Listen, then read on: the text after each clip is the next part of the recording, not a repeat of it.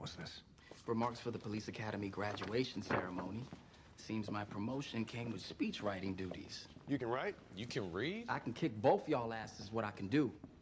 This is, uh, this is really good, Rene. It's like I keep telling you, Hoss. I've got the soul of a poet. Uh, I don't think I've ever heard you say that. Who the hell asked you, Blondie?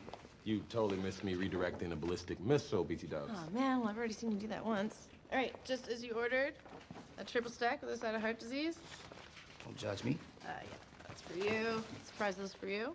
Thank you. Here you go. Thank you. Sorry I was MIA. I pretty much had to knock my mother unconscious to get her on a flight back to Vegas. She did not want to go. That's fine. We, we had it handled. Yeah, even without Dinah in the field.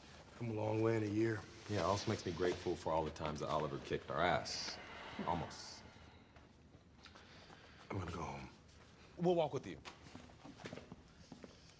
Wow, it's been over five months and their subtlety hasn't gotten better at all. Heard that. No, it hasn't.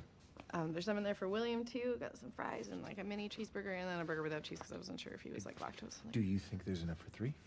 Oh, well, I already ate, and unless you're asking because you think now's a good time. Like, do you need a buffer? I don't need a buffer. I use some company.